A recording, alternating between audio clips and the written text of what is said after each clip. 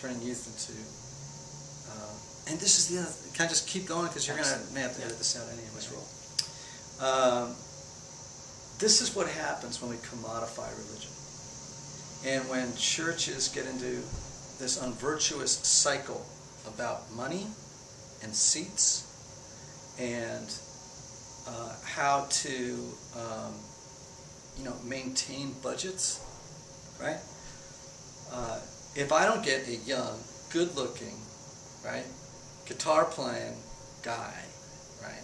By the way, it's also a very, very um, the worship leading world is not particularly friendly toward women either. That's a whole other issue. We need more women worship leaders. Um, there's just not enough of them. Here, here's the problem that a, a, senior pastor or a team can face, pastoral team can face. We got a thousand seats. And there's a church down the road, they got a thousand seats. They got contemporary worship, we've got contemporary worship.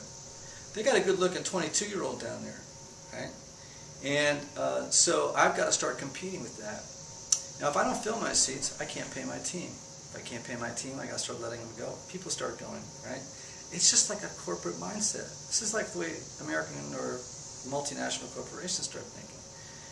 Um, so I've got to, I'm in the, I'm in the market, and I've got to be, uh, have a market-driven mindset that says the competition is doing X, I have to do X in order to stay in the game. Do you see where all this leads? I can't maintain buildings. I can't. So uh, what happens? Um, we end up with a commodified, world imitating church. That's all.